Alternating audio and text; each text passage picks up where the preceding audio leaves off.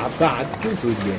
Colour है colour नहीं ना उधर ध्यान दो ना काम उसको पूछना उसको पूछ।